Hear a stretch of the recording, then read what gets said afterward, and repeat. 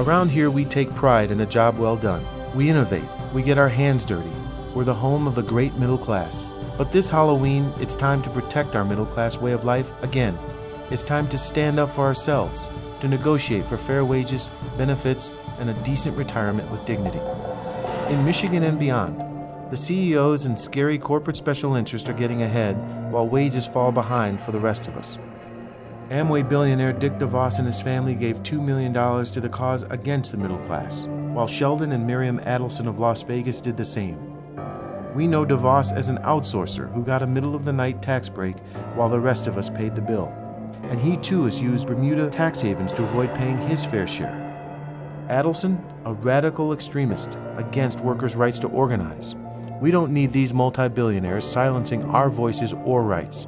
We can stop them by voting yes on two to protect collective bargaining.